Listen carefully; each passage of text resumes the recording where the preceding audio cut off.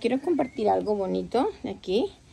Tengo mi tres clases de plantas de llamadola. Esta es la pequeñita, esta es la bebecita, que siempre, miren, ¿se acuerdan? La primera hojita está más pequeñita y tengo la otra mediana y la grande. Pero esta planta que tengo acá, la tengo desde antes que vengamos acá a la casa. Antes que compremos esta casa. Pero esta planta tiene más o menos ya sus 10, 11 años y no florecía. Pero ahora, miren cómo ha florecido. Qué hermosa flor que tiene. Es una flor moradita, lila. Hermosísima ha florecido. Y muy bonita está. Miren, muy cuidadita. Muy bonita está.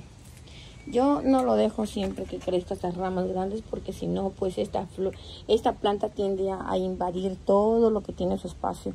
Así que trato de cuidarlo también para que no le invada a mi rosa blanca. Así que trato de cuidarlo y tenerlo así como un arbolito. Porque aquí miren cómo está mi árbol. Está de precioso. Tengo dos, dos árboles de estos. Este es de Norville y el mío está acá. Este es mío. El mío está también bonito, muy cuidadito. Muy cuidadito. Así que bueno, quería compartir con ustedes mi llamadólar. Cómo crece, cómo creció y cómo floreció.